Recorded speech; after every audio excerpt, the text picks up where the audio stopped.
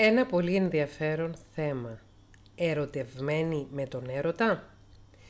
Μια φίλη έχει γράψει κάτω από ένα βίντεο «Κυρία Θέκλα, μας κάντε μας ένα vlog σας παρακαλώ που να μας μιλάτε για το εξής. Όλοι μας έχουμε την ανάγκη να αγαπηθούμε και από την ανάγκη αυτή ορμόμενη μπαίνουμε σε σχέσεις με ανθρώπους που ουσιαστικά δεν τους γουστάρουμε. Και αυτό το βλέπω να συμβαίνει παντού γύρω μας.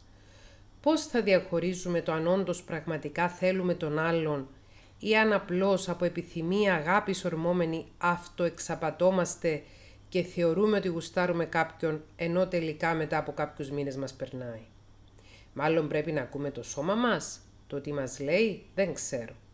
Έχω μπερδευτεί και εγώ όπως και πολλοί άλλοι άνθρωποι, γι' αυτό κρίνω ότι πρέπει να αγγίξετε αυτό το ζήτημα. Να μάθουμε να είμαστε σε σχέσεις μόνο και μόνο από έρωτα, πραγματικό έρωτα και όχι δικές μας αυταπάτες. Και είναι πολύ ενδιαφέρον γιατί αυτό το vlog απόψε το γυρίζω μετά που έχω τελειώσει το αντίστοιχο κεφάλαιο από το βιβλίο, το καινούριο που γράφω που έχει τίτλο «Ερωτευμένη με τον έρωτα και όχι με το πρόσωπο». Ε, νομίζω δεν είναι ερώτημα, είναι ερωτευμένη με τον έρωτα και όχι με το πρόσωπο, νομίζω είναι κατάφαση. Τέλος πάντων, όπως και να έχει. Φιλενάδα. Είναι πολύ σαφές το ερώτημά σου, είναι όμως πάρα πολύ δύσκολο να απαντηθεί. Είναι πολύ δύσκολο να αξιολογήσουμε εμείς ήδη τα συναισθήματα μας τα ερωτικά, αν είναι βαθιά συναισθήματα ή αν είναι επιφανειακά. Γράφεις αν πρέπει να ρωτάμε να ακούμε το σώμα μας. Το σώμα μας ναι, πρέπει να το ακούμε. Εάν σε οποιαδήποτε περίπτωση που φλερτάρουμε με έναν άνθρωπο, ο οποίος είναι σε διάθεση να μπει σε σχέση μαζί μας, θέλει να μπει σε σχέση μαζί μας, ενδιαφέρεται για μας ερωτικά, φλερτάρει μαζί μας, αλλά το σώμα μας αντιδράει αρνητικά και νιώθουμε απόθυση και όχι έλξη, τότε εννοείται πως δεν είναι καθόλου καλή ιδέα να μπούμε σε σχέση με έναν άνθρωπο που δεν μας ελκύει ερωτικά. Αυτό είναι το πιο εύκολο, το πιο εύκολο να το κατανοήσουμε και να το εφαρμόσουμε. Εάν δεν υπάρχει ερωτική έλξη, πόσο μάλλον αν υπάρχει και απέχθεια σωματική, δεν προχωρούμε σε σχέση. Η ερωτική έλξη, το physical attraction, η σωματική έλξη, έχει να κάνει με παράγοντες που δεν επιλέγουμε εμείς. Έχει να κάνει με τα γονίδια μας, έχει να κάνει με τις ορμόνες μας, έχει να κάνει και με κάποιες ουσίες που ονομάζονται φερομόνες, που είναι η χαρακτηριστική μυρωδιά που εκπέμπει ο κάθε άνθρωπος από το σώμα του, από το στόμα του, από, την περιο... από τους αδένες στη μασχάλη του, από την περιοχή των γεννητικών του οργάνων, γεννητικών του οργάνων, που είναι η χαρακτηριστική σεξουαλική μυρωδιά που έχει ο κάθε άνθρωπος και που τον βοηθάει να συναντήσει ένα σεξουαλικά ταιριαστό τέρι. Το έχουμε πει πολλές φορές ότι ζούμε σε μια σύγχρονη μοντέρνα ή μεταμοντέρνα εποχή, ζούμε στο 2020, αλλά τα γονίδια μας είναι πρωτόγωνα. Και οι πρωτόγονοι άνθρωποι για να μπορέσουν να ζευγαρώσουν και να αναπαράγουν το ανθρώπινο είδος, γιατί στην πρωτόγονη εποχή δεν υπήρχε το φλερτ, δεν υπήρχε ο ρομαντικός έρωτας, υπήρχε μόνο το σεξ ως αναπαραγωγική λειτουργία και το ζευγάρωμα, έπρεπε να υπάρχει ένας τρόπος να επιλέγουν συμβατό σύντροφο, γονιδιακά συμβατό, ούτως ώστε να γίνει το καλύτερο δυνατό ζευγάρωμα. Έτσι μέσα από τη μυρωδιά ε, προκαλείται είτε έλξη είτε απέχθεια προς κάποιον άνθρωπο. Το ίδιο ισχύει και για το σεξουαλικό προσανατολισμό. Δηλαδή ένας άνδρας ο οποίος είναι ομοφιλόφιλος δεν θα βρει ελκυστική τη μυρωδιά μιας γυναίκας. Όπως επίσης μια γυναίκα που είναι ετεροφιλόφιλη, επίσης δεν θα βρει ελκυστική τη μυρωδιά, την ιδιαίτερη μυρωδιά μιας γυναίκας. Όπως επίσης και μια γυναίκα που είναι ομοφιλόφιλη δεν θα βρει ελκυστική την ιδιαίτερη ερωτική σεξουαλική μυρωδιά ενός άνδρα. Αυτά είναι πολύ απλά και βασικά και αρχικά. Με αυτούς που δεν ταιριάζουμε σεξουαλικά δεν υπάρχει ερωτική έλξη. Τι γίνεται όμως; Με τους ανθρώπους εκείνους με τους οποίους υπάρχει σεξουαλική ταύτιση, μπορούμε να ταιριάξουμε σεξουαλικά, γιατί θεωρώ ότι δεν είναι λίγοι άνθρωποι με τους οποίους μπορούμε να ταιριάξουμε σεξουαλικά. Θα έλεγα ότι ίσως με το με ένας στους τρεις από τους ανθρώπους του φίλου που μας ενδιαφέρει και τις ηλικίες που μας ενδιαφέρει θα μπορούσαμε να ταιριάξουμε σεξουαλικά. Δηλαδή είναι άπειρες οι πιθανότητες ε, σεξουαλικού ταιριάσματος μεταξύ των ανθρώπων. Τι γίνεται στην περίπτωση που μας ελκύει σεξουαλικά ένας άνθρωπος που δεν, το σώμα μας δεν, δεν τον απεχθάνεται, το σώμα μας, αλλά το μυαλό μας, η λογική μας και το ένστικτό μας, το gut instinct μας, μας λένε ότι αυτός ο άνθρωπος δεν είναι κατάλληλος για εμάς.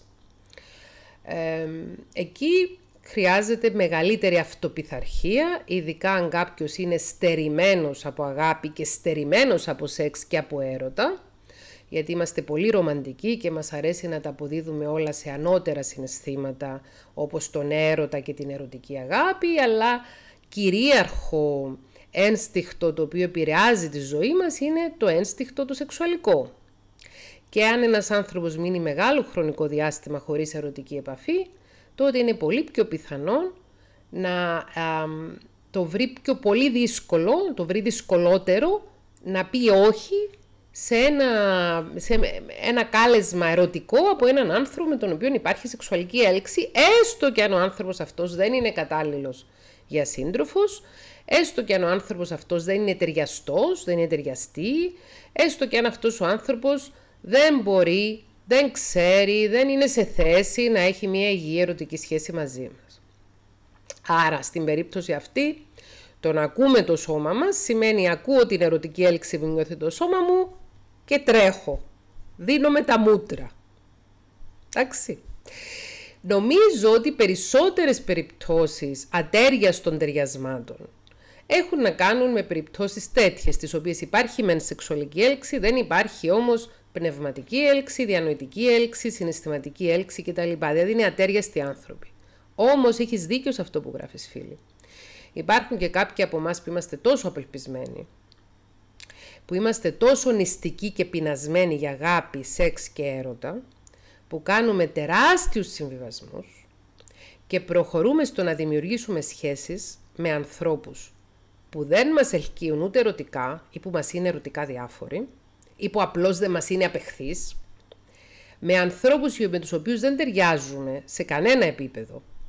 Δεν ταιριάζει ο τρόπος σκέψης μας, ο τρόπος λειτουργίες μας, δεν ταιριάζουν οι απόψεις μας, δεν ταιριάζουν οι αρχές μας, οι αξίες μας, τα πιστεύω μας, δεν θέλουμε τα ίδια πράγματα από τη ζωή.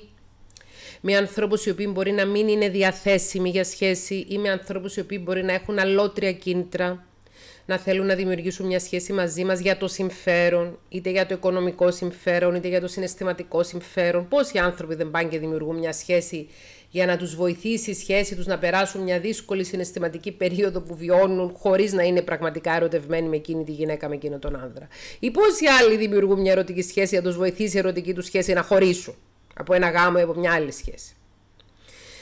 Και λέω, πολλοί από εμάς φτάνουμε σε αυτό το πολύ χαμηλό σημείο, το, που είναι ξεφτύλα, και λέω πολλοί από εμάς, βάζω και τον εαυτό μου μέσα, γιατί όποιος, όποιος πει ότι δεν του έχει τύχει, σημαίνει ότι δεν είχε κάνει σχέση καθόλου ή τέλος πάντων είχε μόνο μία σχέση και αυτή του βγήκε καλή.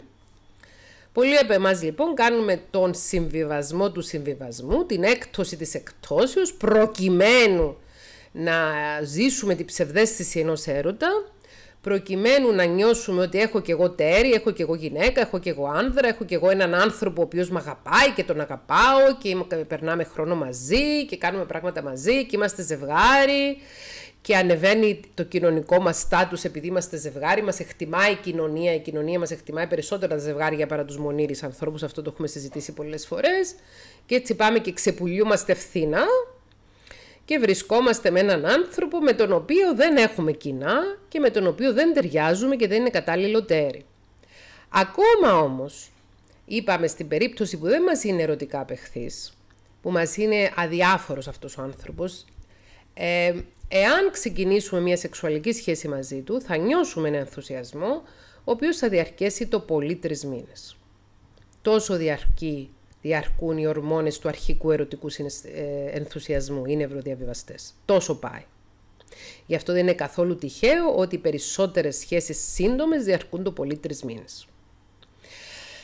Και τι γίνεται όταν μπεις σε μια τέτοια σχέση η οποία είναι κατάσχεση της αξιοπρέπειας σου κατάσχεση της αυτοαγάπης σου, δεν είναι σχέση, είναι κατάσχεση. Είναι η κατάσχεση του εαυτού σου και μπεις σε αυτή τη σχέση και κάνεις και τη βλακεία να τη δημοσιοποιήσεις και όλα σε αυτή τη σχέση, να μιλήσεις για αυτή τη σχέση σε φίλους σου, σε συγγενείς σου, σε ανθρώπους που σε γνωρίζουν, να μιλήσεις για αυτή τη σχέση, να δείξεις αυτή τη σχέση στον κοινωνικό σου περίγυρο και όταν σου περάσει ο πρώτος ενθουσιασμός, δηλαδή όταν περάσει αυτό το καθαρά σωματικό, το καθαρά σεξουαλικό επιφανειακό των τριών πρώτων μήνων, μετά να βρίσκεσαι αντιμέτωπος, αντιμέτωπος με τη συνθήκη ότι έχω φορτωθεί τώρα αυτή τη σχέση, πάνω στην οποία έχω επενδύσει συναισθηματικά, γιατί για να ερωτευτούμε κάποιον ε, παίζει τεράστιο ρόλο και η φαντασία μας, χτίζει παλάτια η φαντασία μας, Βλέπω, μας δίνει ένα και εμείς το βλέπουμε ότι είναι 100 αυτά που μας δίνει, και ανόμαστε από λεξούλες, από μορφασμούς, από κάτι ελάχιστο που μας δίνει κάποιος. Ποια φίλη μου μου λέγε προχθές κάτι πολύ ενδιαφέρον, το bread crumbing λέει, μου έχει κάνει bread crumbing και λέω τι εννοείς; Bread crumbs είναι τα ψίχουλα. Bread crumbing είναι το να, να ανέχεσαι και να αντέχεις να σου δίνει ο άλλος μόνο ψίχουλα, να μην σου δίνει ολόκληρο ψωμί ή έστω μια φέτα ψωμί.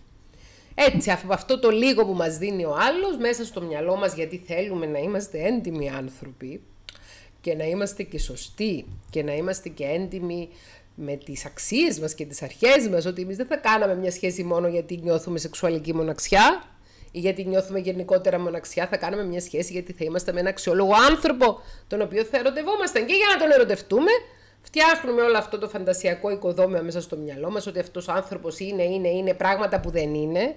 Και επειδή με ρωτήσατε σε ένα προηγούμενο βίντεο σε σχόλιο από κάτω και δεν πρόλαβα να απαντήσω θέλω να πω εδώ ότι έχει αλλάξει το, το σύστημα του YouTube και όταν απαντήσω σε ένα σχόλιο και μου έρχεται η ειδοποίηση για απάντηση, δεν μπορώ να πω κατευθείαν σε εκείνο το σχόλιο για να δω την απάντηση. Οπότε πολλές φορές γι' αυτό δεν απαντάω στις απαντήσεις σας. Δεν ανταπαντάω στις απαντήσεις σας, επειδή δεν μπορώ να πω εκεί. Τέλος πάντων, όπως και να έχει.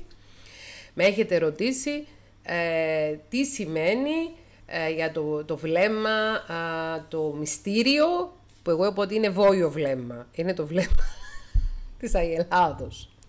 Ναι, έχει ανθρώπους οι οποίοι έχουν μία μικρή επίγνωση της βλακείας τους και της κενότητάς τους και της αναξιότητάς τους, οπότε προτιμούν να μην λένε πολλά. Αυτό οι άνθρωποι που δεν μιλάνε πολύ, σε μια νέα γνωριμία, σε μια νέα συνθήκη, μην πέφτετε στην παγίδα να πιστεύετε πως αυτοί οι άνθρωποι είναι μυστήριοι.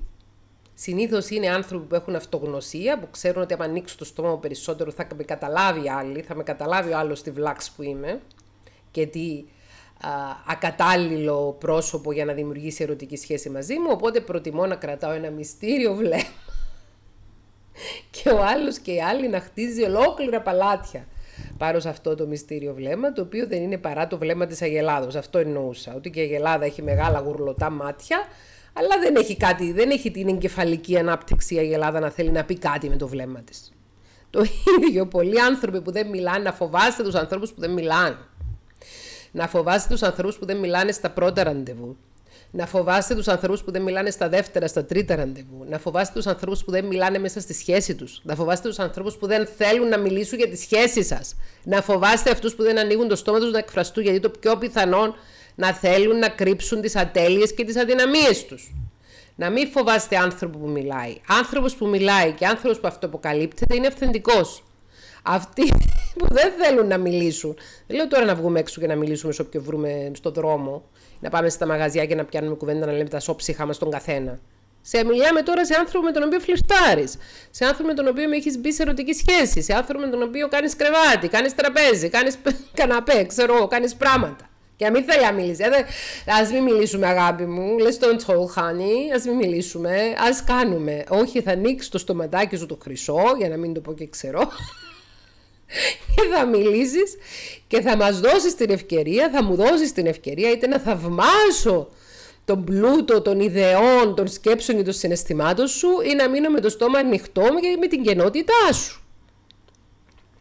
Άρα πολλοί από εμάς φτάνουμε σε αυτό το σημείο το πολύ χαμηλό, να ερωτευόμαστε με τον έρωτα και να προχωρούμε στη δημιουργία σχέσεων ατέριαστων για μας, με λίγους ανθρώπους, με ανθρώπους που είναι λίγοι για μας, και έχουμε φτιάξει μέσα μας και έχουμε χτίσει ένα οικοδόμημα φαντασιακό ότι είμαι με έναν πολύ σπουδαίο άνθρωπο. Ο οποίος, ναι, ρε παιδί μου, μπορεί να μην μιλάει πολύ. Είναι επειδή είναι βαθιστόχας μας. Έχω πολλά παραδείγματα στο μυαλό μου, γι' αυτό γελάω. Ε, ναι, μπορεί να μην εκφράζεται, αλλά είναι επειδή ε, εκφράζεται με πράξεις. Με ποιες πράξεις εκφράζεται, κόρη μου, γέ μου, με ποιες πράξεις εκφράζεται; Με ποιες πράξεις εκφράζεται; Άνθρωπος ο οποίος δεν είναι σε θέση να μιλήσει για το πώς νιώθει και οι πράξεις του είναι αλλαντάλλο, με ποιες πράξεις εκφράζεται; Με αυτές τις πράξεις που φανταζόμαστε και τις πράξεις αυτές τις αγαπητικές, όπως φανταζόμαστε και τα λόγια τα αγαπητικά, τα οποία δεν βγαίνουν από εκείνο το χρυσό στοματάκι, αλλά τα βλέπουμε μέσα σε εκείνο το μυστήριο βλεμματάκι. Λοιπόν, να μας παρετήσουν όλοι οι μυστήριοι τύποι. Να μας παρατήσουν όλοι οι, οι κρυψίνοες. Αν θέλετε να δημιουργήσετε σχέσεις αυθεντικές, δεν, εγώ δεν πιστεύω στον αυθεντικό έρωτα, όπως το γράφει η φιλική, ο πραγματικός έρωτας και μόνο όταν υπάρχει πραγματικός έρωτας προχωρούμε σε σχέση. Εγώ πιστεύω ότι τον έρωτα τον χτίζουμε. Για να χτίσουμε όμως τον έρωτα χρειάζεται να υπάρχει εννοείται η ερωτική έλξη σωματική πρώτη και καλύτερη, αλλά να υπάρχει και επικοινωνία μεταξύ των δύο ανθρώπων, να υπάρχει σύμπτωση απόψεων, στάσεων, ζωής, πεπιθήσεων, να έχουν και οι δυο τα ίδια θέλω στην παρούσα φάση και να συμφωνούν στον τρόπο ζωής που θα υιοθετήσουν. Όχι ο ένας να θέλει απλώς να κάνει σεξ για να περνάει καλά και ο άλλος ονειρεύεται ε, ότι θα είναι το τέρι του για όλη του τη ζωή. Σύμπτωση απόψεων και τον χτίζουμε τον έρωτα. Διαφορετικά τον ζαλίζουμε τον έρωτα με όλους αυτούς και με όλες αυτές με τα βόια βλέμματα, τα κενά βλέμματα. Δεν ξέρω αν έχω απαντήσει ορθά. Ίσως να είναι μια πολύ καλή ευκαιρία να κάνουμε όλες και όλοι αυτοκριτική για τις παρούσες σχέσεις εάν έχουμε, για τις παρελθόν, παρελθούσες εάν δεν είμαστε στην παρούσα φάση σε σχέση και να δούμε πόσο πολύ ερωτευτήκαμε το πρόσωπο όπως ακριβώς ήταν ή πόσο πολύ ερωτευτήκαμε τη φαντασίωση που φτιάξαμε για εκείνο το πρόσωπο και μετά αφού αυτό μουντζωθούμε καλά καλά όσοι χρειάζεται να αυτό μουντζωθούμε ας ανασκουμπώσουμε τα μανίκια μας για να αρχίσουμε δουλειά να ξεκαθαρίσουμε, να καθαρίσουμε τους τάβλους του αυγία. Και ναι, είναι δύσκολο να έχεις ερωτική μοναξιά, είναι δύσκολο να έχεις σεξουαλική αποχή, είναι δύσκολο να μείνει ερωτευμένος και να μην νιώθεις ότι κάποιος άλλος άνθρωπος είναι ερωτευμένος μαζί σου με ανταπόκριση. Ναι, είναι δύσκολο πράγμα, αλλά δεν αξίζει τον κόπο να ξεπουλούμε τον πολύτιμο εαυτό μας για λίγες ψευδεστήσεις. Η γνώμη μου είναι, όσο και αν ακουστεί προκλητική, σου λείπει το σεξ, πήγαινε κάνε σεξ. Κάνε σεξ χωρίς δεσμεύσεις με προφύλαξη. Άμα είναι το σεξ που σου λείπει. Ή σου λείπει η συντροφικότητα και θες να ξεκινήσεις μια σχέση με έναν άνθρωπο που δεν είσαι σίγουρος αν σου κάνει. Ξεκίνα αυτή τη σχέση με προσοχή και με προφύλαξη. Μην τη δημοσιοποιήσεις και κράτα τα μάτια σου ανοιχτά να βλέπεις την πορεία ποιος είναι αυτός ο άνθρωπος στον οποίο επενδύεις συναισθηματικά και μην επενδύετε συναισθηματικά τόσο εύκολα. Εξετάστε πρώτα την επένδυση αν αξίζει τον τρόπο, τον κόπο να επενδύσετε. Επιθεωρήστε το οίκημα. Πριν πάει κάποιος να αγοράσει ένα σπίτι, θα πάει να το επιθεωρήσει. Θα το τσακάρει, δεν θα το ελέγξει. Θα πάει να δει αν είναι γερά χτισμένο, αν έχει κακοτεχνίες, αν είναι ακριβώς στην αξία που το πουλάνε η πραγματική του αξία. Δεν θα ρωτήσει και κάποιον ειδικό. Δεν θα φέρει και κάποιον πολιτικό μηχανικό, δεν ξέρω εγώ τι είναι, έναν εργολάβο, κάποιον να του πει αν είναι ορθά χτισμένο, αν έχει προβλήματα. Δεν θα ψάξει το ιστορικό εκείνου του σπιτιού. Έτσι θα πάει να το αγοράσει. Να πάει να δώσει, ξέρω εγώ, 150, 200, 300 χιλιάδες ευρώ έτσι στα χαμένα. Εν και είπαμε ότι διαβατήριο που να αγοράσει Κυπριακό, δεν το είπα αυτό. το μοναδικό σχόλιο που έχω κάνει για το πρόσφατο σκάνδαλο που συγκλονίζει τα κυπριακά δεδομένα. Λοιπόν, όπως και να έχει. Αυτή είναι η άποψή μου, αυτή είναι η γνώμη μου και θεωρώ ότι όλοι την έχουμε πάθει, όλοι την παθαίνουμε, είναι ανθρώπινο, shit happens, life happens, φτάνει να το ο, αντιλαμβανόμαστε και να αναθεωρούμε, να εξελισσόμαστε και να προχωρούμε. Την αγάπη μου έχετε όλοι.